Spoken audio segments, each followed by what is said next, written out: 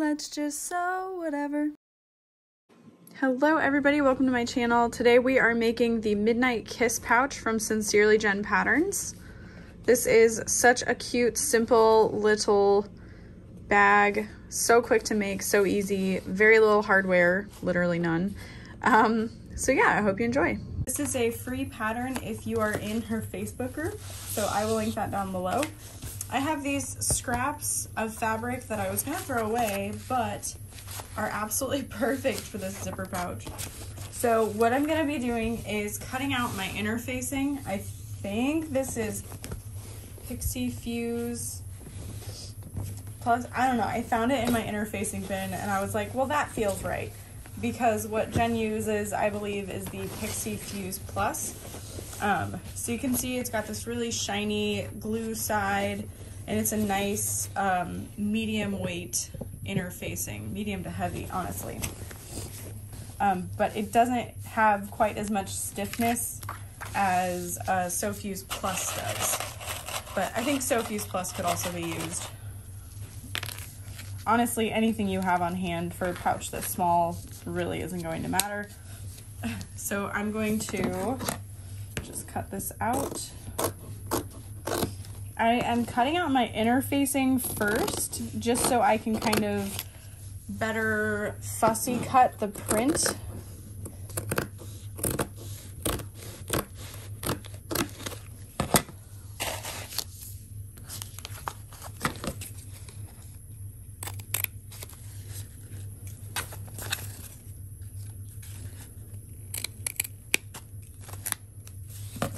So there is one piece.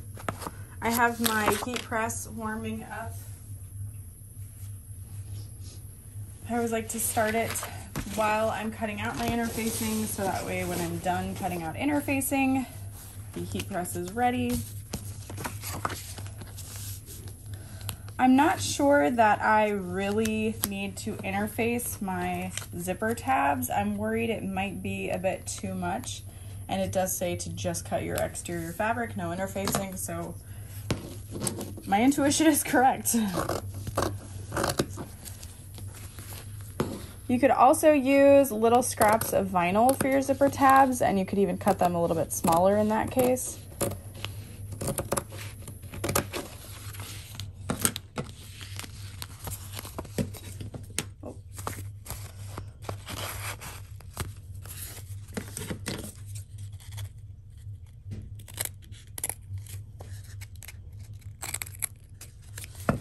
Got my exterior interfacing cut and ready to go. This is a pattern that would be great for batch sewing if you've got um, like a craft show coming up or classroom gifts to give, teacher gifts to give. Like there's, I don't think there's anybody that's gonna be like, you know what, I actually don't need a little zipper pouch. I'm going to really quick cut out my zipper tabs from this little area here.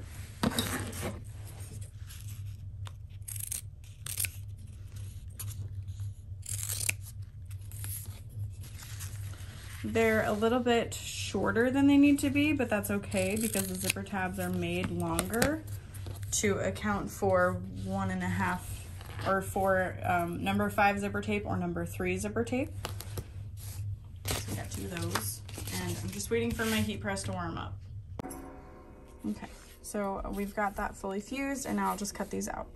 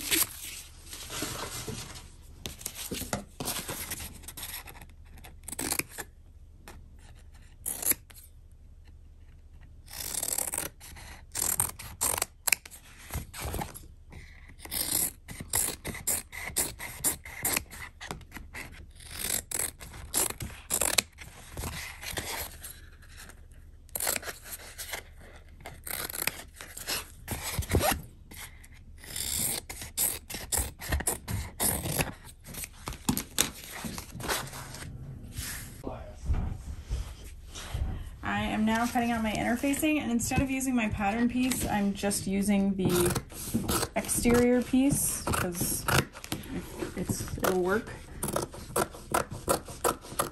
I find this to be quicker for me anyway. I am using a water resistant canvas for the lining. I do like to make sure that I put right sides together so that the pattern pieces are the same size, like when they're facing each other. Cutting out those little corners.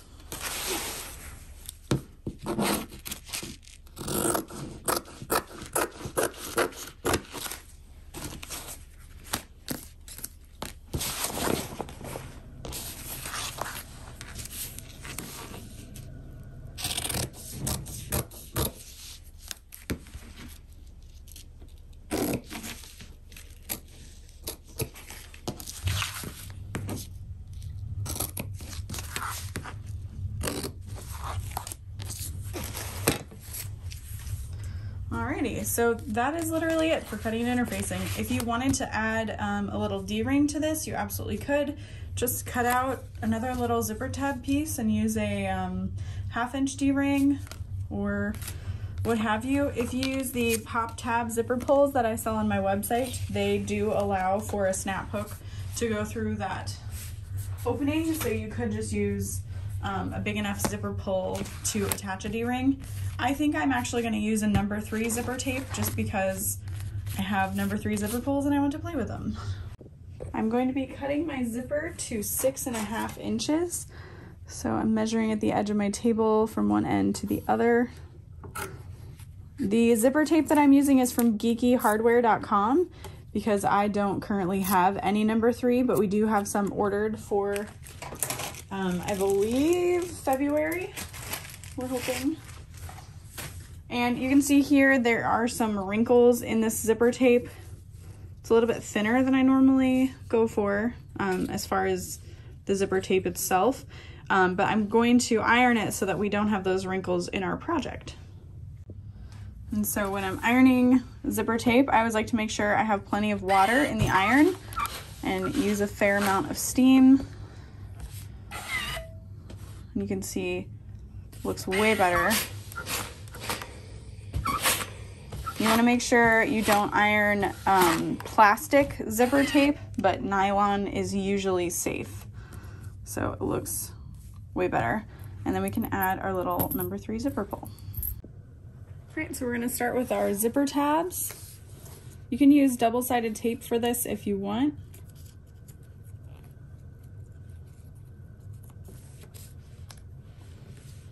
I'm gonna fold the edges in and then enclose the edge of our zipper tape and sew that into place.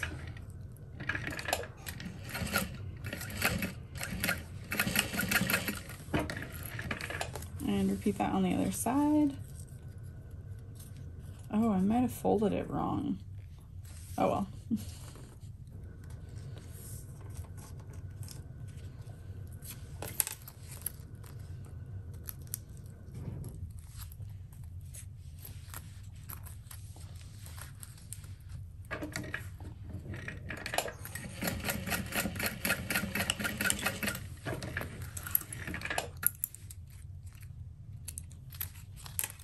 Okay, there is our zipper. Oh my goodness. Number three zipper tape is so tiny. It's so cute. Okay. Ooh, yeah. I'm gonna use one of my woven labels. Not a woven label, but these are cork tags from the Heartwood and Hide. This will be super fun. So I just fold it to find the center, grab a little piece of double-sided tape,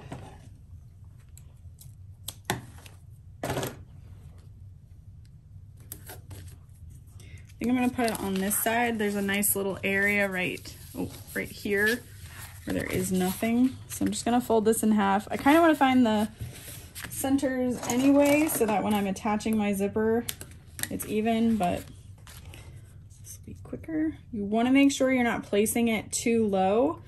Keep in mind that this is a boxed bottom. So if you place it down here, it's past the cutout. So you want to place it up a little bit higher. And we'll sew that into place.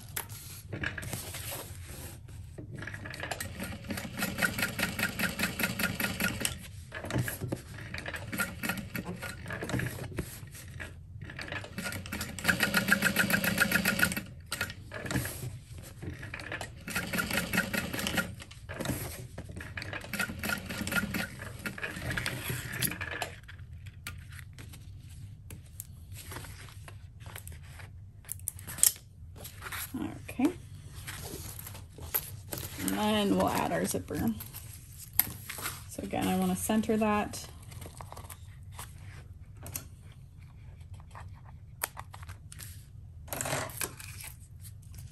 Mark my center of this zipper. Now I don't want to snip through the zipper tape because I could risk it fraying. So I'm just using the silver marking pencil within the seam allowance to line up the center.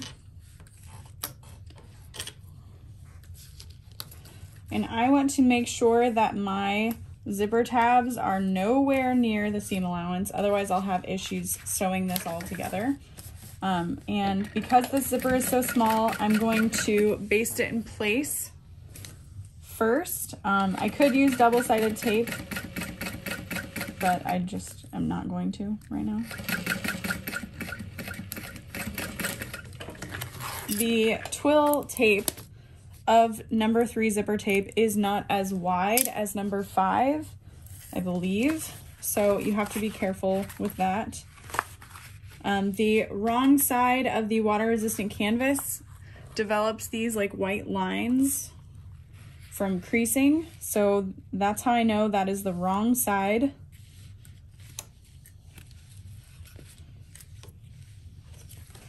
So then I'm gonna flip this over and sew down a little bit further.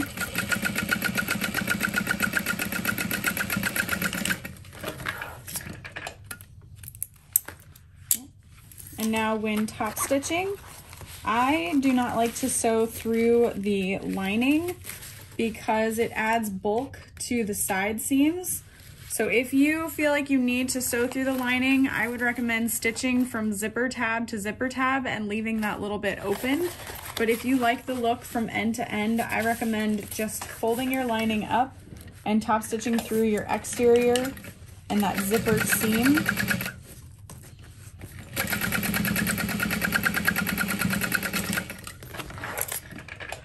And then make sure you iron your lining down. Hmm. I'm thinking, honestly, if you wanted to like top stitch again over the just the zipper tab that way it looks like it's all top stitched but really your lining is caught only within this area technically you could try that. Um, because one issue you might have um, this happened in the peekaboo class is if the distance between your zipper tape and your exterior fabric isn't quite right, you could risk catching your lining when you're zipping your zipper up. So that's the main reason you would want to sew through the lining fabric. So now we're just going to line up our centers on the other side, clip that in place.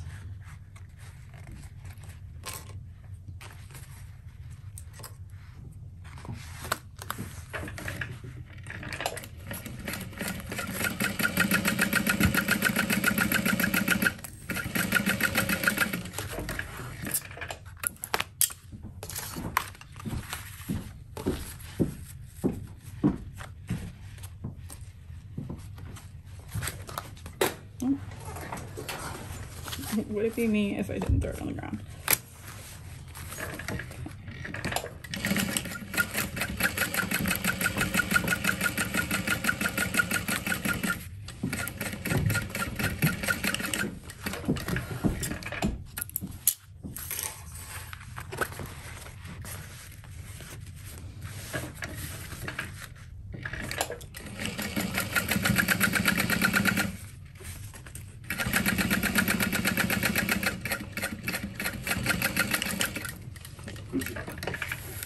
Somebody say Skillshare.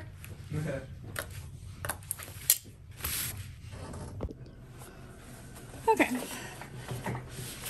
So top stitch the other side, folding those seams down, making sure they're pressed nicely and out of the way of our zipper.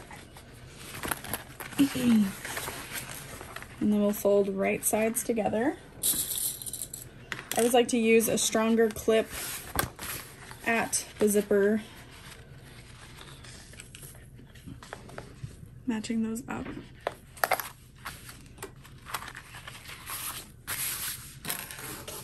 And then I use these lighter weight clips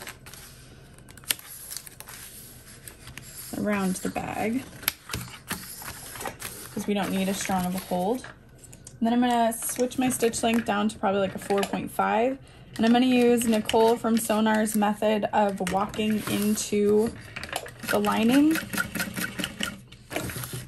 And I'm using a pretty small seam allowance just because it's such a small bag and I don't want to get near that zipper tab. And honestly, I don't want to have to trim down my seam allowance. So that's what we're doing. And then instead of lifting my foot up, I'm just bringing the other corner together.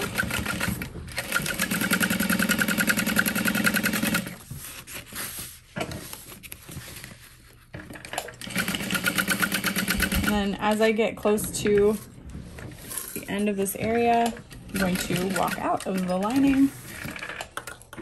And all that really does is kind of hide any stitches that you might see. I am trimming down the seam allowance just at the zipper area where my zipper tabs are. It's going to create a lot less bulk at that seam um, you just want to make sure you don't get too close to your stitches like I kind of did right there. And then we're going to square the bottom corners. Probably should have started by unzipping my zipper. If you didn't, you can reach with your thumb and pull on the zipper head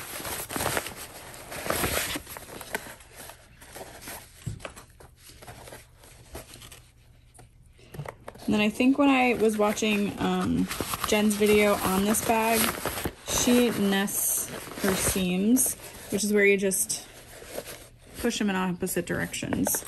Um, so especially when seams are this small, the seam allowance is so tiny, it's it's not easy to open it up.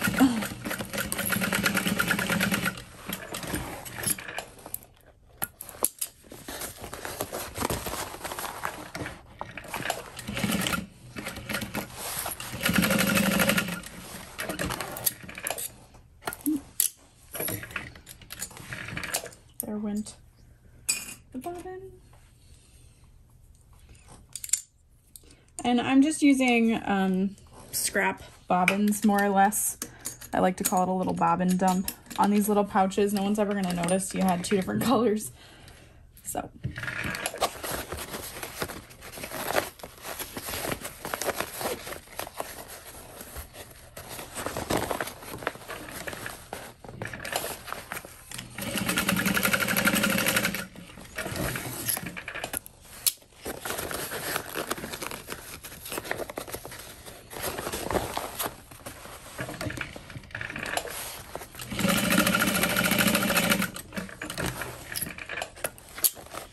And then we're ready to turn the bag. So I'm just gonna grab the bottom.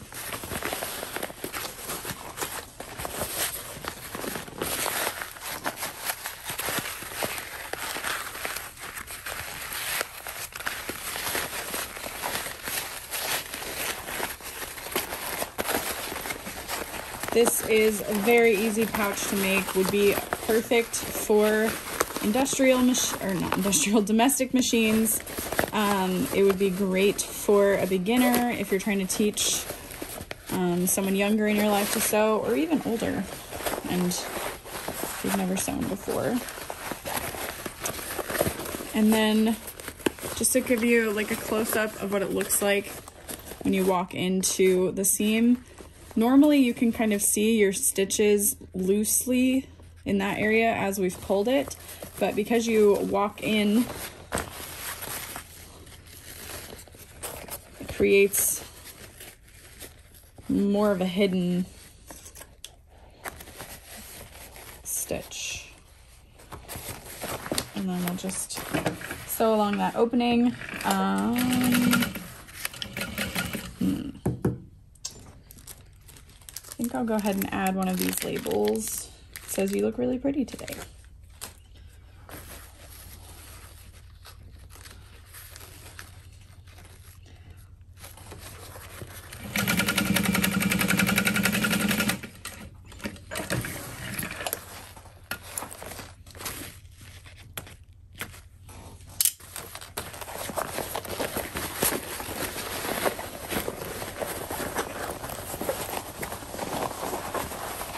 and then push the corners of the bag in, push out where your zipper tabs are. And there is your little zipper pouch. Give it a nice press.